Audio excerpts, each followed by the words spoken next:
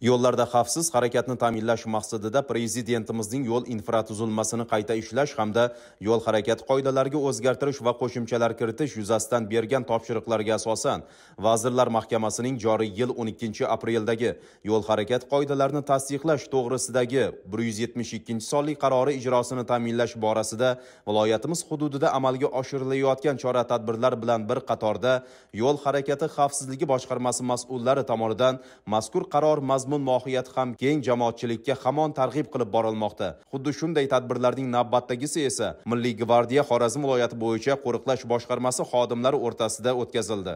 Unda qarorda ko'rsatilgan qonun qoidalar kiritilgan o'zgartirish va qo'shimchalar bo'yicha to'liq ma'lumotlar berilib mazmuni tushuntirildi. Xususan himoya kamaridan foydalanish bolalarni avtomobilda olib yurish tartibi piyoda yoki velosipedchi sifatida yorug'lik yetishmaydigan tungi paytlarda yo'llarda harakatlanishga doir qoidalar tezlik me'yorlari va qoidalarga amal qilinmagan holatlarda ko'rsatilgan javobgarliklar to'g'risida so'z yuritilib tushuntirishlar berildi.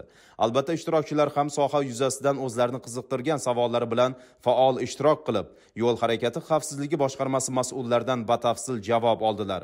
O'z o'rnida ushbu ishtirokchilarga xizmat avtomobillaridan foydalanish bo'yicha ham alohida ma'lumotlar berib o'tildi. Tadbir yakunida esa harakat ishtirokchilarini yanada hushyorlikka chorlash maqsadida viloyat hududida sodir etilgan yo'l transport hodisalari haqida ma'lumot berilib kelib chiqish sabablari tushuntirildi.